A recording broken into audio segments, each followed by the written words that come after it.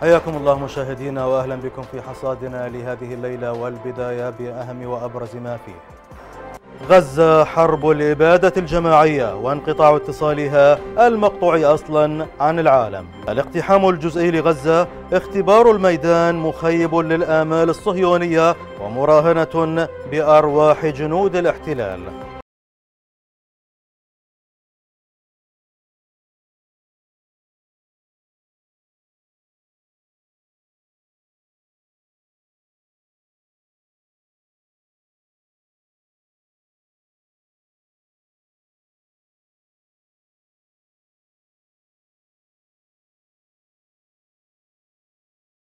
إذن مشاهدينا بعد أن قطع الكيان المؤقت اتصال غزة بالعالم الخارجي عاد ليمارس هوايته المفضلة قتل المدنيين وارتكاب أبشع الجرائم بحق صاحب الأرض.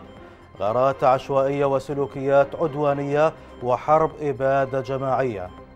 أنين جراح الأطفال وندب الأمهات حاضر في كل مكان.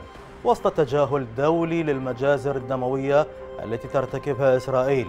وكان وكان الإنسانية يمكن أن تتجزأ وفق الاعتبارات سياسية ومواقع جغرافية. وفي ملفنا الثاني من الحصاد مشاهدينا أيضا هذا الاقتحام الجزئي لغزة والذي يعد محاولة اختبار أولى لجيش الاحتلال في الميدان والذي جاءت نتائجه مخيبة للآمال. فعلا على حدود القطاع تلقت إسرائيل صفعة قوية ودرس إضافي في هذه المواجهة علاوة على كونه فرصة جديدة لمحاسبة الكيان الصهيوني على جرائمه التي ارتكبها ودرءا للهزيمة المدوية التي تلقاها تراجع الاحتلال عن أهدافه الكبرى معطيا لها سمات العملية المتدحرجة أو المناورة التمهيدية المحدودة للتخلص من تراكمات الإخفاق الكبير الذي رافقته منذ انطلاق عملية الطوفان. إذا مشاهدينا هذه ملفات حصادنا لهذه الليلة ونرجو أن تبقوا معنا.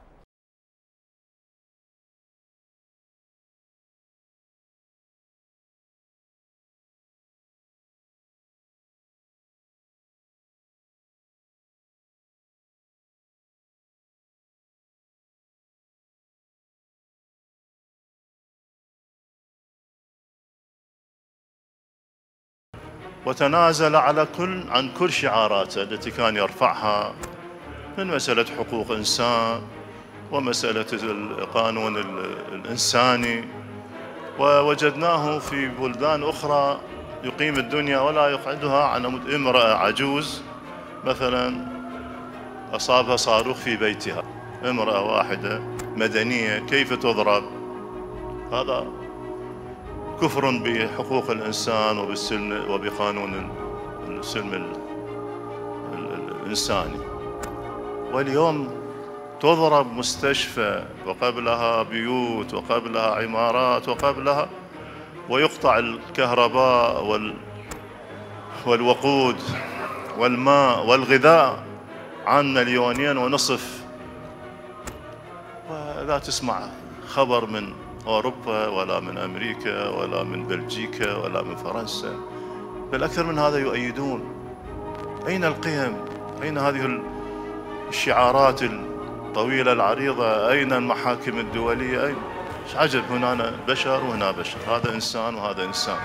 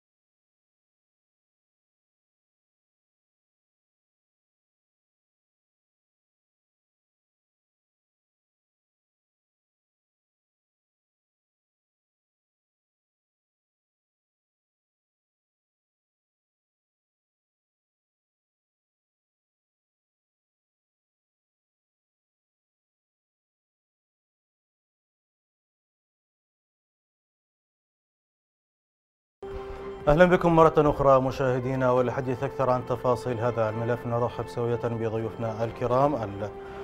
عضو شبكة الهدف للتحليل السياسي السيد حسين كناني أهلا بك. وكذلك الترحيب الباحثة بالشأن السياسي السيدة تمارا حداد تنضم مباشرة عبر سكايب من فلسطين. أهلا بكم سيدة تمارا.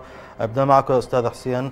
قطع الكيان الصهيوني لخدمة الاتصالات والإنترنت عن قطاع غزة.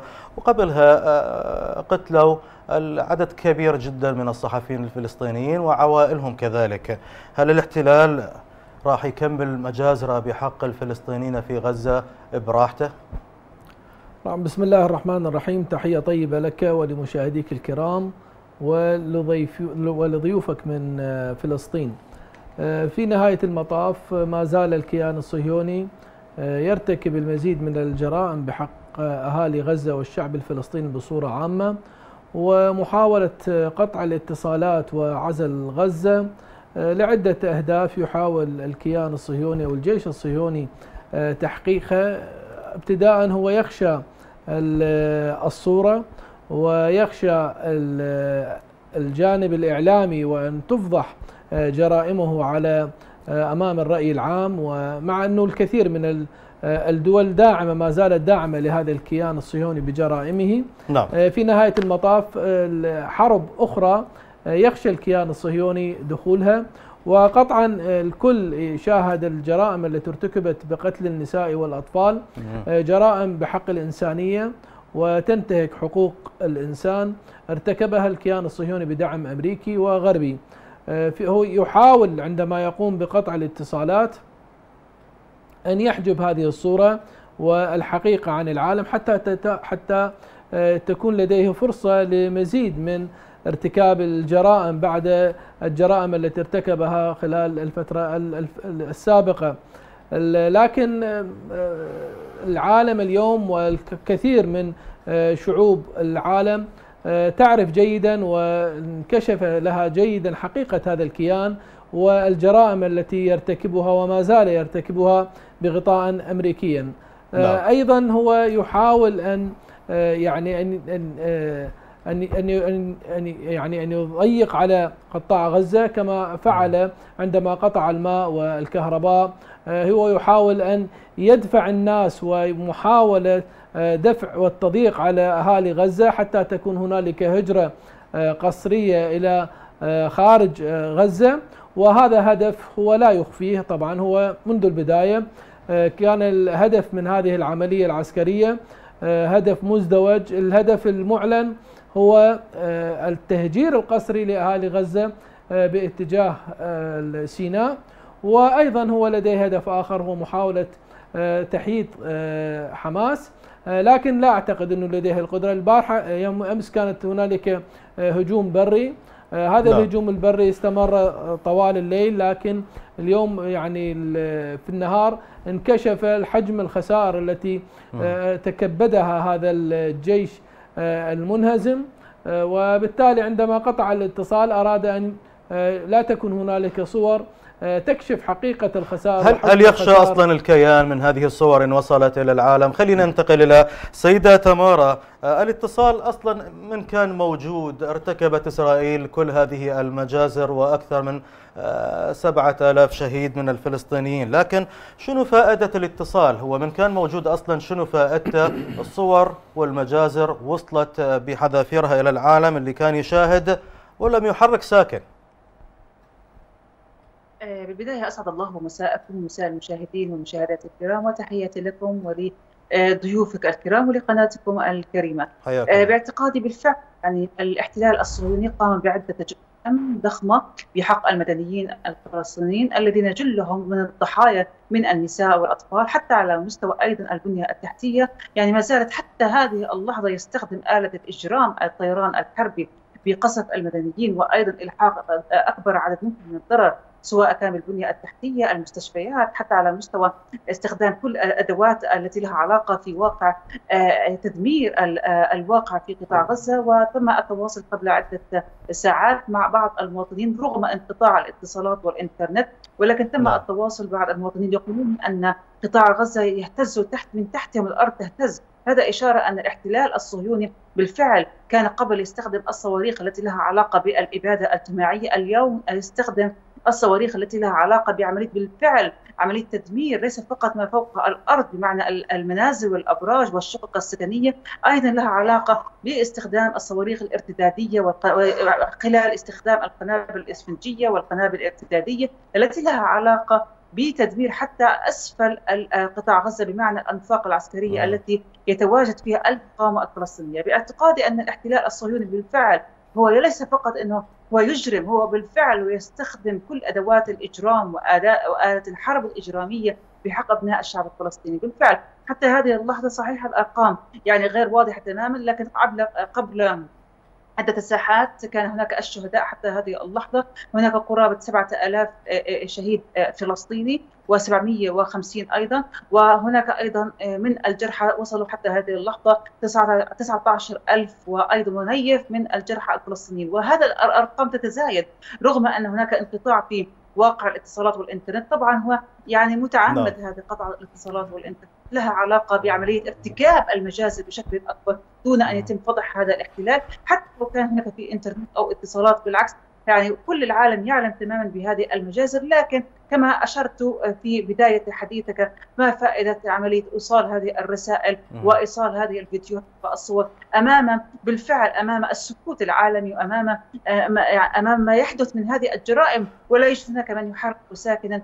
للأسف أن المجتمع الدولي يكيل بمكيالين ويستخدم ازدواجية المعايير طيب. وحتى هناك بعض حتى هذه اللحظة لم تعطي أي إنجاز للضغط على الأقل. على واقع طيب على الأقل سيده سيدة تمارا على الأقل الدول العربية اللي عندها علاقات مع الكيان الصهيوني غيرها اللي عندها علاقات جيدة وياها ليش ما تضغط على الكيان من أجل على الأقل إدخال مساعدات؟ هسه لا توقفون ويا الشعب الفلسطيني فقط مساعدات خليها تدخل. صحيح بالفعل يعني هناك علاقات قوية. ليس فقط التي طبعت مع إسرائيل هناك بعض الدول العربية وبالتحديد دول الخليج العربي لها علاقة قوية جدا مع الولايات المتحدة الأمريكية. الحل الوحيد في عملية الضغط على إسرائيل هي فقط الولايات المتحدة الأمريكية. وهناك علاقات قوية وبالتحديد دول الخليج فيما يتعلق بالنفط والغاز والبترول فبالتالي هناك ورقة اقتصادية يستطيع دول الخليج أن يضغطوا على الكيان الصهيوني عن طريق الولايات المتحدة الأمريكية على الأقل إنقاذ ما يمكن إنقاذه بمعنى على الأقل الواقع الإنساني بإدخال المساعدات بشكل يومي.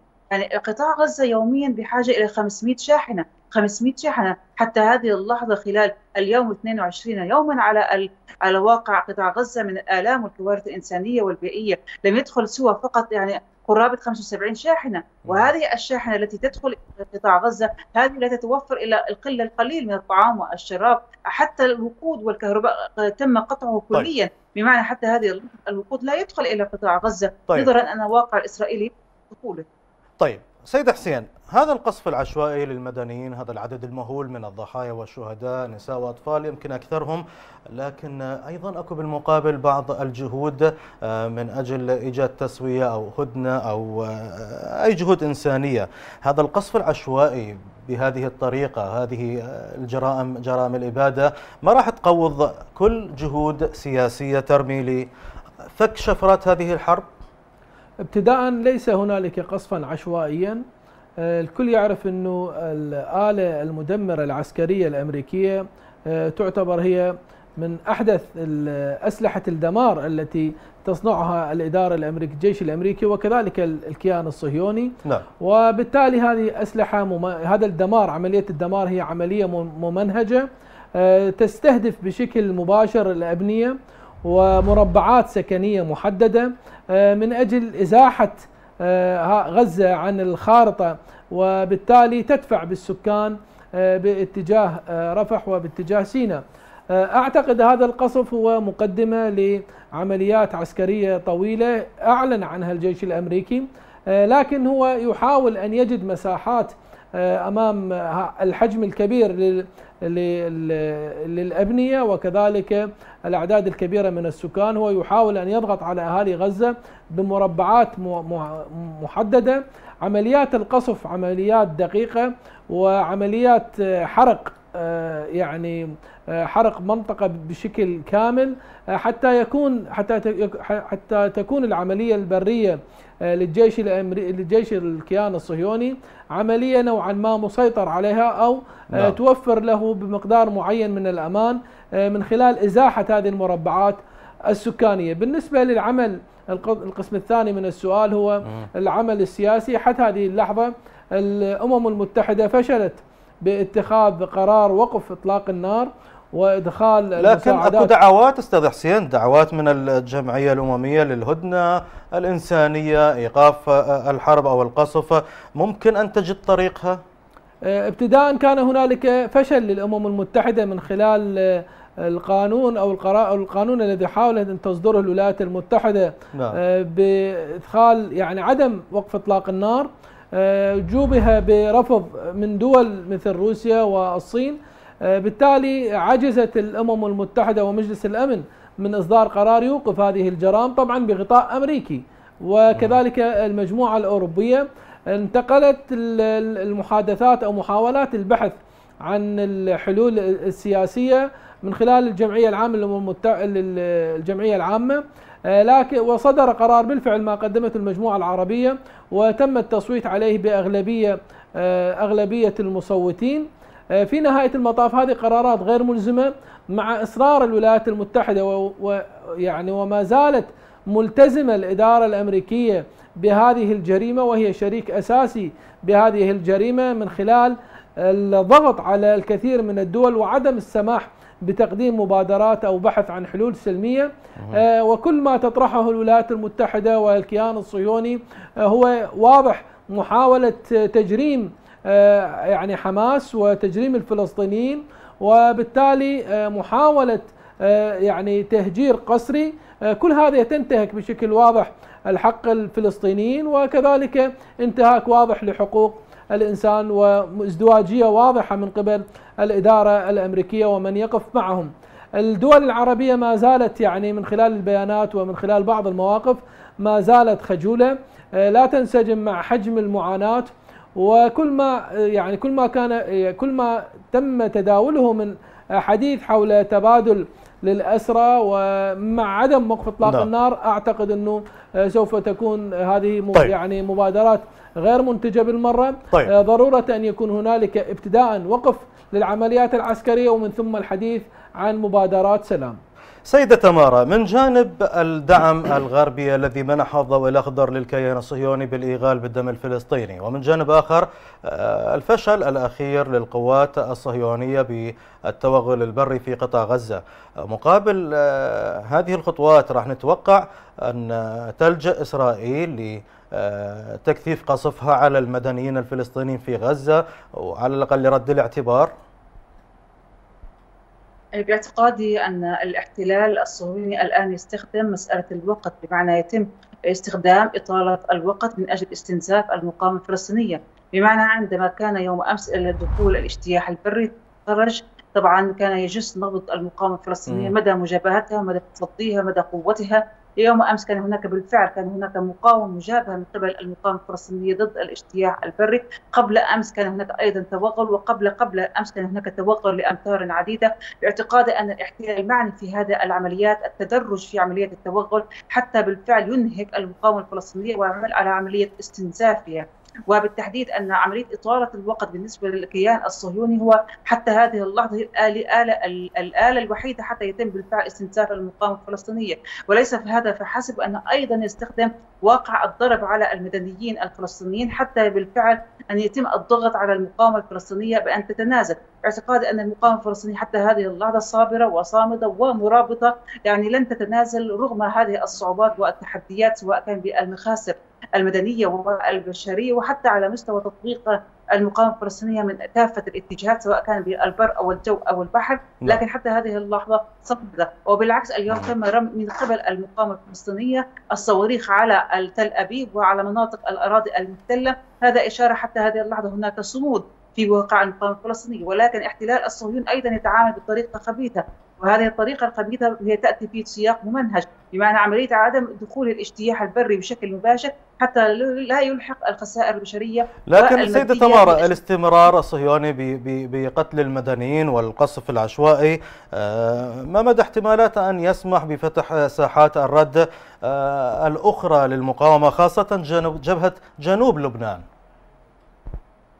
صحيح بالفعل يعني استمرارية التطورات في قطاع غزة. أعتقد أن سوف يكون هناك تطورات في مناطق أخرى. صحيح أن حتى هذه اللحظة أن حزب الله لم يتدخل وإيران لم تتدخل وبعض المناطق لكن هناك يتم في مناوشات وأيضا في سياق يعني الحوثيون رموا بعض الصواريخ على منطقة إيلات وعلى بعض المدمرات الأمريكية. لا. لها علاقة في هذا الصيغ اذا على مستوى الحشد الشعبي أو الكتائب الأخرى التي لها علاقة تحت القوى التي تحت إطار إيران. أيضا ضربت بعض المواقع الأمريكية في العراق ناهيك أنها أيضا في سوريا هناك قوة الرضوان وقوة الجولان وحزب الله. أيضا يضربون في واقع المناطق الحدودية بين حزب الله وأيضا إسرائيل. لكن حتى هذه اللحظة الدخول المباشر من هذه الدول أو هذه القوة حتى هذه اللحظة لم تدخل مباشر في عملية واقع إنقاذ المقاومة الفلسطينية باعتقادي أن أي تطورات عميقة تحدث في قطاع غزة قد يكون هناك بالفعل تطورات في منطقة الشرق الأوسط، لكن كل هذه القوى وأيضا إيران هناك مخاطر محسوبة لدى هذه الدول بعمليه عدم التدخل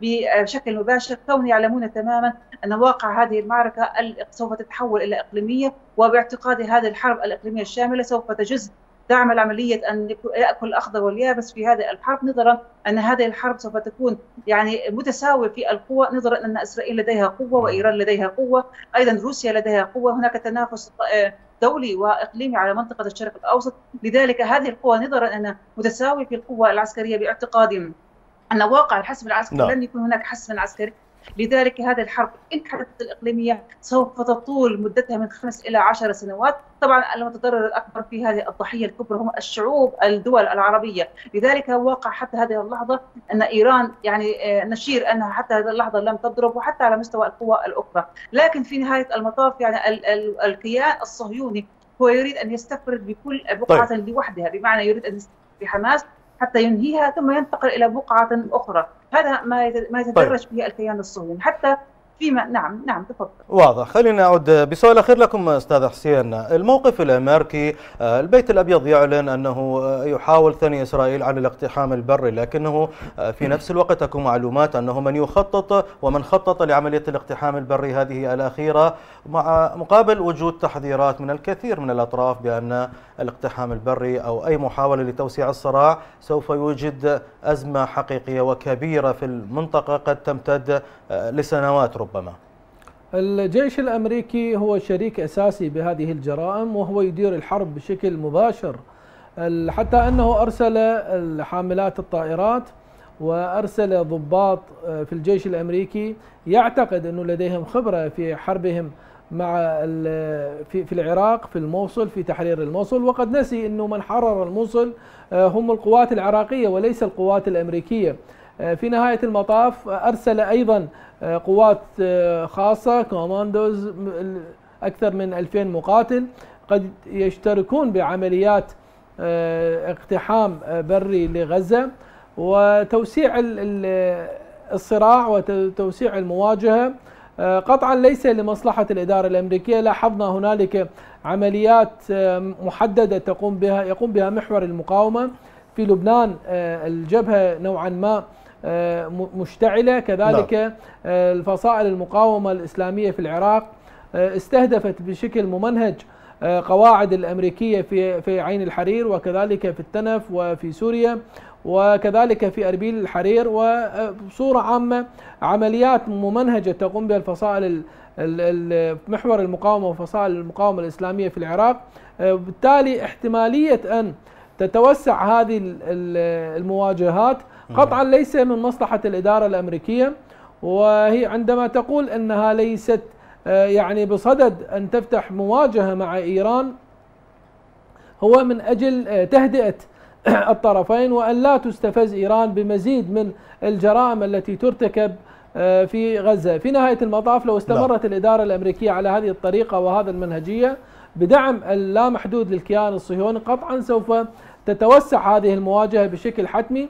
وأظن أنه حتى هذه اللحظة لم تنخرط محور يعني بقية المحاور في يعني الفصائل في في محور محور المقاومة. هو حتى هذه اللحظة ما زالت غزة صامدة وما زالت حماس وكذلك الفصائل اللي موجودة ما زالت لديها قدرة كبيرة على المقاومة. وبالتالي الحديث عن توسع هذه الجبهات وانخراطها سابق لأوانه. الشكر الجزيل لك عضو شبكة الهدف للتحليل السياسي السيد حسين كناني. كنت ضيفا كريما. شكرا لك. سيدة تمارا أرجو أن تبقي معي ومع مشاهدينا الكرام. نذهب سوية إلى ملفنا الآخر وأبرز ما فيه.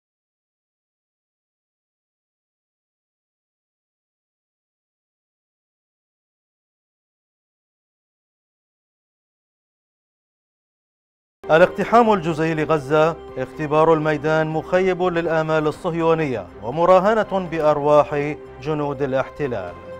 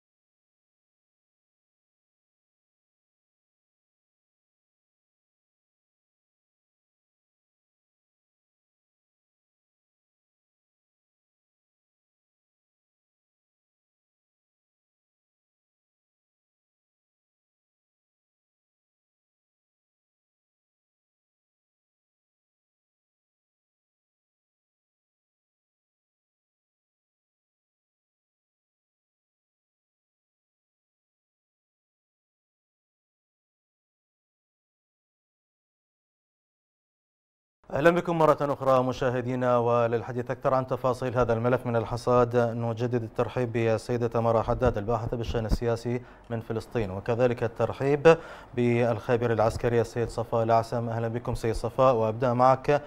ماذا حققت إسرائيل يوم أمس بعمليتها البرية على قطاع غزة؟ هو مكسب عسكري أو مكسب سياسي؟ عفوا الصوت ما وصل سألتك سيدة صفاء ماذا حققت إسرائيل من هجومها البري على غزة يوم أمس؟ أكو مكسب عسكري أو مكسب سياسي؟ أبدا.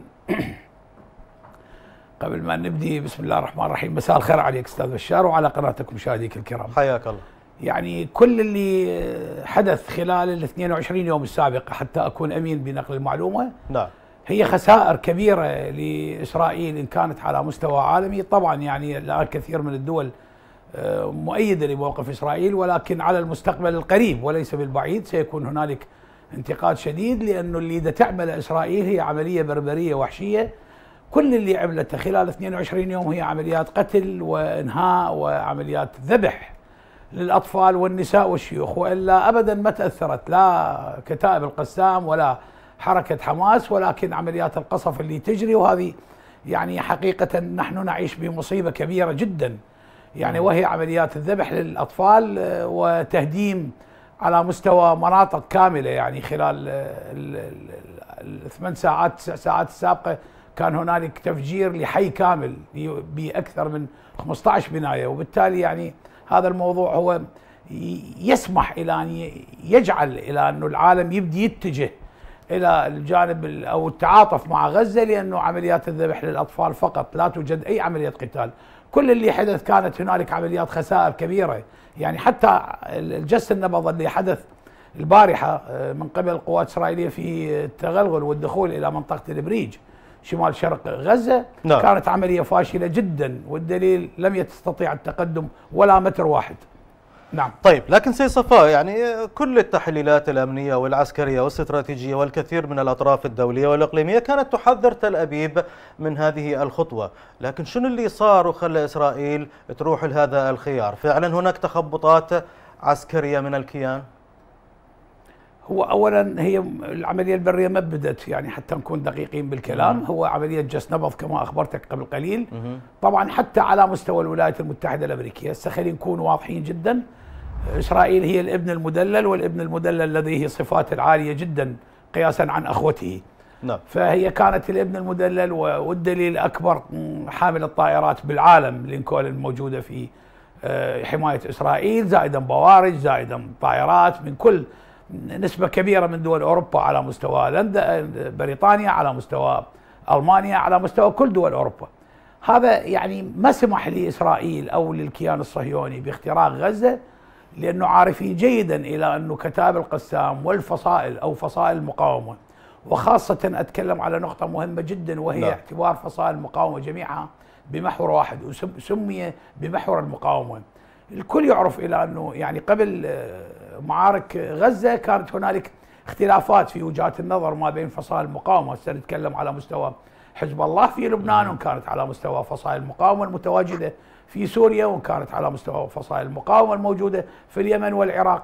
ولكن بعد أن أعتبر أعتبرت كل فصائل المقاومة هي محور واحد اذا هنالك اتفاق مبدئي كلي بكل فصائل المقاومة باعتبارها هي محور واحد أمام قتال إسرائيل. اذا إسرائيل يجب أن تحسب لا تحسب حساب كتاب القسام أو حماس فقط نعم. وإنما يجب أن تحسب حساب الكل. وهذا التخوف هو التخوف الأمريكي حقيقة هو اللي ما سمح لإسرائيل باختراق غزة وأجل عمليات الدخول لأنه عارف جيدا كل المصالح الأمريكية والمصالح البريطانية ومصالح أوروبا ومصالح الكيان الصهيوني في أي منطقة من مناطق الشرق الأوسط أو الدول العربية ستضرب. نعم أعود لك سيدة تمارا أهلا بك مرة أخرى آه، بالنسبة لنجاح حماس آه، يوم أمس بقتل وأسر عدد كبير من القوة الإسرائيلية المقتحمة لغزة هل يعني أن إسرائيل ستدخل مجبرة في مفاوضات؟ آه، باعتقادي حتى هذه اللحظة لا توجد أي نوع من المفاوضات لكن هناك في طلب من بعض يعني الوفود الأمريكية من قبل الكيان الصهيوني وأيضا متواجدون الآن في قطر من أجل هناك تسوية لعملية ترسيخ فك الأسرائيليون. لكن حتى هذه اللحظه هناك شروط من قبل المقاومة الفلسطينية. نعم. من بين هذه الشروط التي تريدها المقاومة الفلسطينية اولا أن يكون هناك تحرير كامل وشامل للأسرى الفلسطينيون من قبل المعتقلات الصهيونية. وأيضا فك الحصار عن قطاع غزة سواء بكافة أشكال الحصار الذي يقوم به الآن الكيان الصهيوني. وأيضا وقف إطلاق النار وأيضا أن تكون هناك بالفعل تهدئة شاملة طويلة الأمد، لكن الاحتلال الصهيوني أو الكيان الصهيوني رفض هذه الشروط وهذا إشارة أن الاحتلال الصهيوني طلب أن يكون هناك فك الرهائن الاسرى الإسرائيليون دون أن يكون هناك إعطاء ضمانات للمقاومة الفلسطينية دون أن يكون يحقق أي من هذه الشروط. باعتقادي أن الاحتلال الصهيوني لا يعنيه الأمر الإنساني للأسرى الإسرائيليون هو يفرق بين الواقع الإنساني والواقع الأمني أو العسكري هو يريد الآن أن ينفذ الأمن الواقع الأمني وأيضا الأهداف الأمنية والعسكرية في قطاع غزة أما فيما يتعلق الواقع الإنساني الاحتلال الصهيوني دائما يتماشى في عقلية أمنية رغم أن هناك مظاهرات ضد نتنياهو من نعم. أجل فك الأسرى الإسرائيليون لكن خصوصا إذا تسمحي لي سيدة تمارا كيف ممكن للحكومة الإسرائيلية أن تواجه ضغط أهالي هؤلاء الأسرى الأسرى الإسرائيليين لدى حركة حماس. اولا آه، هناك بالفعل أن نتنياهو الآن رئيس الوزراء الإسرائيلي نتنياهو الآن يعيش في حالة من المأزق. أكثر من نقطة هناك في يعيش في حالة من المغز. اولا أن حتى هذه اللحظة واقع الاجتياح البري الذي يؤجله هو المستوى السياسي المتمثل نتنياهو. رغم أن هناك مواقف متناقضة هناك المستوى الأمني والعسكري المتمثل وزير الدفاع الاسرائيلي جالنت هو يريد الاجتياح البري. لكن نتنياهو يعلم تماما أن أي عملية في فشل الاجتياح البري هذا يعني فشل في المستوى السياسي لنتنياهو. بمعنى أن واقع الدخول بالاجتياح البري وثم يتم عملية إفشال هذا الواقع من قبل المقاومة الفلسطينية هذا يعني فشل نتنياهو هذا يعني سوف يكون تنحيه منصبه عن كرسيه في آه، منصب رئاسه الوزراء هذا لا. نعم. يعني سوف يذهب إلى السجن آه، نتنياهو هو يريد أن يخرج ذاته من المحاكمات الفساء ومحاكمات القضاء القضاء لذلك نتنياهو يعمل من أجله من أجل مصالحه ليس من أجل الأمن القومي أو فك الرهائن الإسرائيليون. لذلك الشارع الإسرائيلي يعلم هذا الأمر وبالتحديد أن استطلاعات الرأي بالنسبة لنتنياهو أصبحت الآن 18 18 مقعدا مقعدا مقابل أن ارتفعت أسهم جنت. هذا إشارة أن واقع المستقبل إذا لم يفك هذه الرهائن إسرائيل اعتقد سيكون هناك واقع منتفض ضد آه، آه، نتنياهو بالتحديد بالشارع الإسرائيلي وبالتحديد في بالأهالي الإسرائيليون. هذا آه، إشارة أن واقع نتنياهو بالفعل في مأزق سواء كان على الواقع السياسي سواء كان على الواقع الأمني والعسكري. حتى هذه اللحظة لم يحسم عسكريا واقع قطاع غزة نظرا أن المقاومة زالت هي موجودة وأيضا تصد هذه الآلة الإجرامية. حتى على مستوى السياسي بعملية إقامة مفاوضات أو تسوية سياسية حتى هذه اللحظة لا نعم. توجد أي نوع من التسوية. نظرا أن هناك تعنت واضح تماما أن من قبل الاحتلال لا يريد أن يعطي أي امتيازات أو مكتسبات سياسية للمقاومة وأيضا هناك تصميم من قبل المقاومة الفلسطينية بتحقيق أهداف سياسية. لأن تعلم تماما أن ورقة الأسرى الإسرائيليون هي الورقة القوية الآن بيد المقاومة الفلسطينية. لذلك طيب. الآن هناك في مواقع متشبثة وهذا شيء طبيعي حتى تصل إلى مرحلة نقطة التوافق والاتفاق بين الطرفين. أعتقد أن حتى هذه اللحظة نقطة التوافق بين الطرفين هي غير موجودة. سيد صفاء هذه الورقة يمكن الوحيدة اللي تمتلكها المقاومة الفلسطينية حماس. آه، أعلنت على لسان آه، آه، المتحدث باسم حماس أبو عبيدة بأن الفلسطينيين حاليا مستعدين لتسليم الأسرى الإسرائيليين مقابل إطلاق سراح كل الأسرى الفلسطينيين لدى إسرائيل وعددهم كبير جدا يمكن أكثر من 5000 أسير. طيب شلون راح ممكن تستثمر المقاومة ورقة الأسرى المتاحة لديها؟ ومن جهة إسرائيل شلون راح تتعامل ويا قضية الأسرى أستاذ بشار أنت ذكرت إلى أنه هي الورقة الوحيدة الرابحة. لا لا يعني يعني العفو أضيف على المعلومة إلى أنه يعني فصائل المقاومة الآن بقوة أكثر وبتماسك أكثر. ويعني عرفت إسرائيل يعني أتكلم لك إلى تصريحات أبو عبيدة اللي هو الناطق الرسمي باسم نعم. حركة حماس. يعني كان يتكلم بأريحية عالية وهو متأكد إلى أنه آه، النصر آه، سيكون مع المقاومة وسيكون هنالك انسحاب ولا يسمح أو لا لا يمكن السلام مع إسرائيل إلا بإنهاء وفك هذا الموضوع اللي ما بين فلسطين والكيان الصهيوني. اذا إحنا يعني اذا المقاومة عفوا تملك يعني كثير من آه، النقاط لصالحها وأهمها طبعا نقطة الأسرى وجنابك ذكرت الأسرى نعم هم عددهم 6000 ولكن آه، التعنت الإسرائيلي أو يعني روح الشعور بالملوكيه أو بشعور بأنه لا يسمح لهم بالتواصل مع فصائل المقاومة أو المقايضة أو المساومة. نعم. بهذه النقطة بالذات ما يعني ما تمت الصفقة ولكن الصفقة ستتم.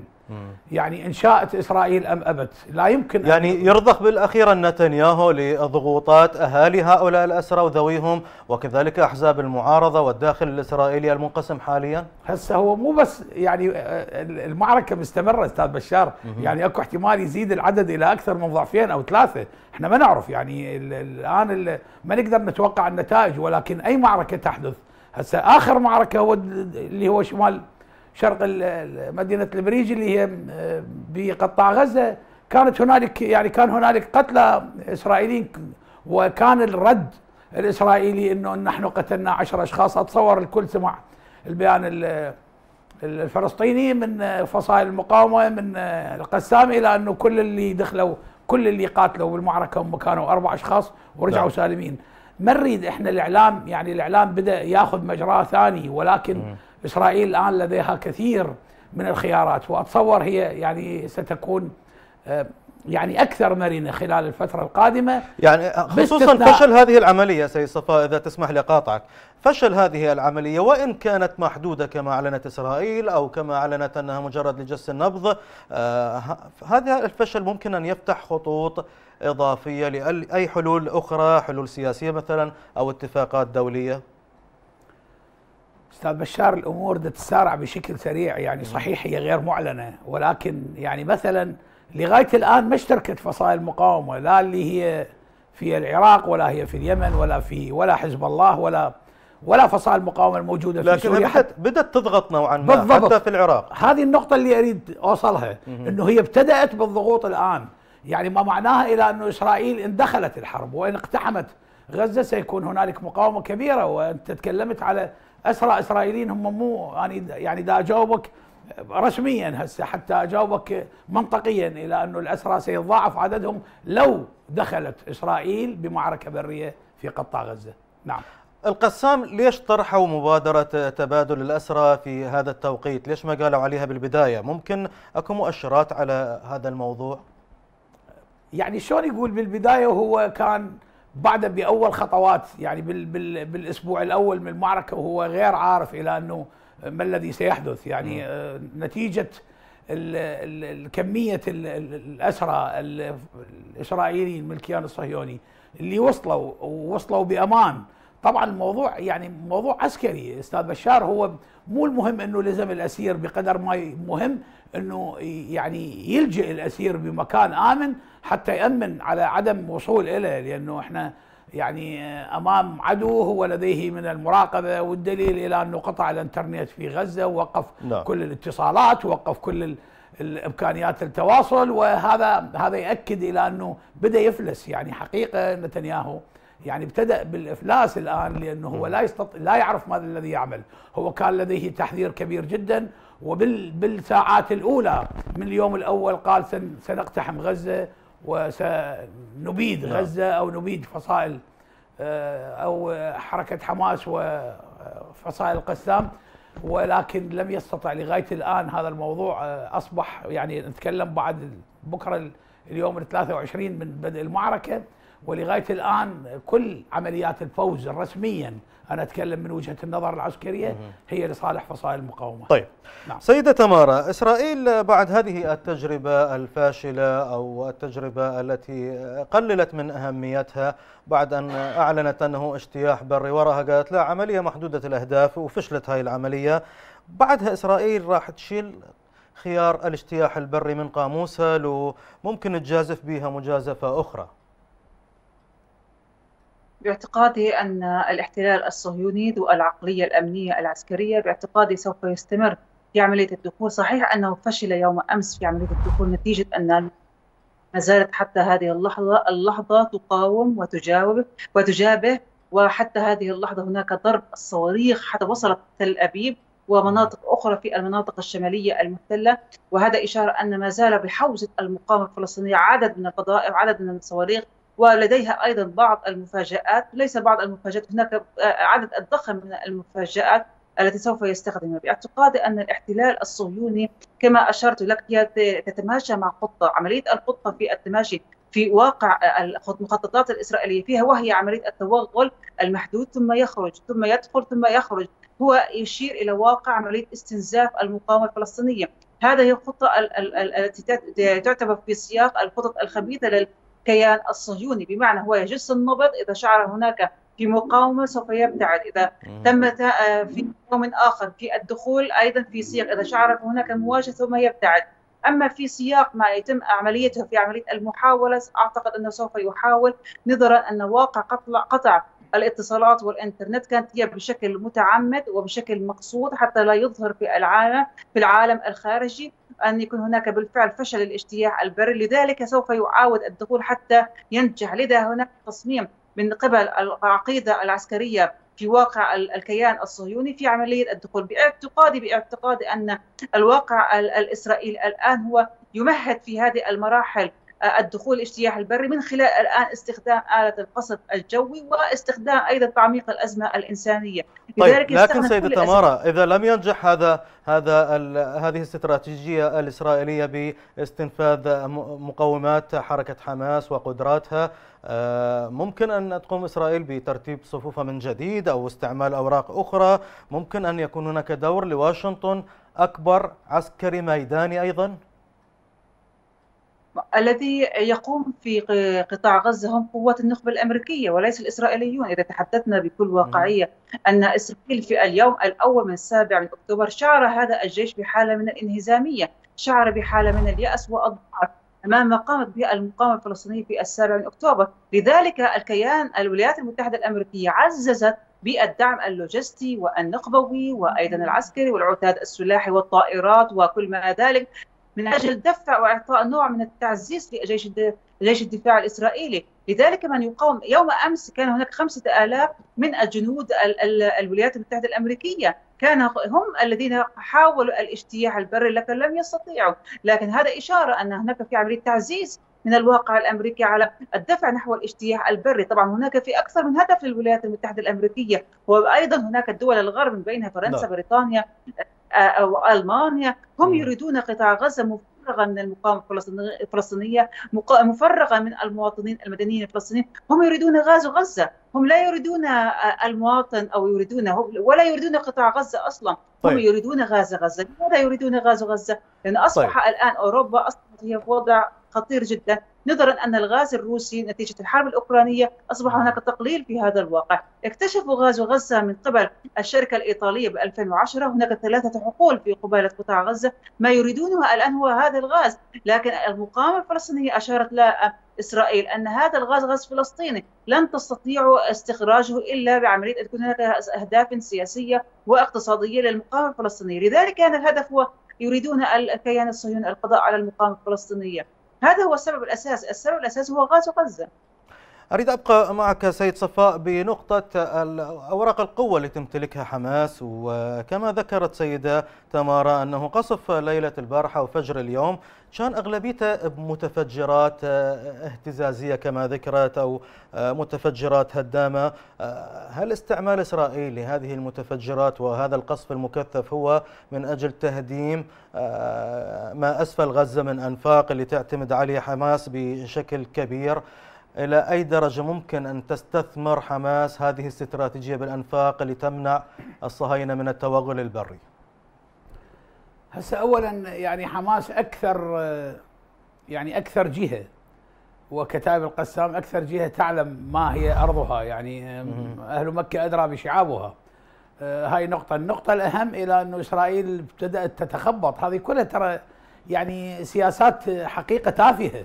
ولا أنت تجي تضرب حي أو تضرب مستشفى المعمداني مثلا أو مستشفى البشائر في مستشفى ثانية حسب الادعاءات الإسرائيلية إنه تحت هذه المستشفى هنالك مقر لقاده حماس، طبعا يعني هذه تبريرات حقيقة غير منطقية لا هي عسكرية ولا ولكن يحاول الإسرائيليون اليهود إلى أنه يؤثروا كثيرا على موضوع آه، حماس والعمل على أن يكون هنالك يعني آه، تسليم إلى الأسرى لغرض التوقف عن قصف عوائل المقاتلين. هو يتكلم هو يضرب أطفال ونساء كما أخبرتك قبل قليل.